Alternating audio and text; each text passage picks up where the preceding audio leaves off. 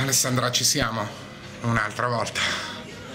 Sì, un'altra volta. Che sapore ha questa? Il sapore è sempre bello, essere alle Olimpiadi è sempre una cosa fantastica, un momento particolare, un'impresa nella vita. Barcellona, Savannah, Sydney, Atene, Cindao.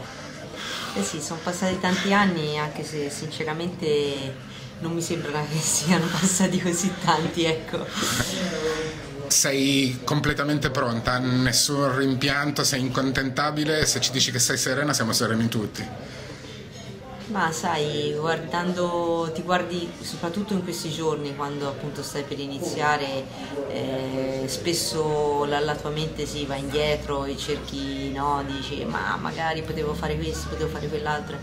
Io però credo di aver fatto insomma, in, questo, in questo quadriennio tutto quello che, che potevo fare, nel, nel, senso che comunque eh, ogni volta che trovi un ostacolo, una difficoltà o no, comunque devi prendere una decisione e, e in quel momento io ho preso, in ogni caso la, so di aver preso la decisione che eh, mi sembrava più giusta, per cui eh, oggi sono qua, sicuramente eh, ci sono state in questo quadriennio tante difficoltà che io ho dovuto superare, però eh, già il fatto di esserci arrivata è, è, è una, un traguardo molto bello, ma insomma sono qua sicuramente per lottare e per voler dire, dire, la mia.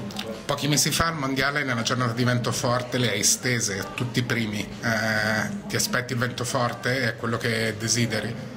Ma no, non saprei, cioè, mi aspetto un'Olimpiade con tutti i venti, questo è un campo che ti può veramente far regatare sia con vento forte, medio, leggero, per cui eh, un'Olimpiade completa.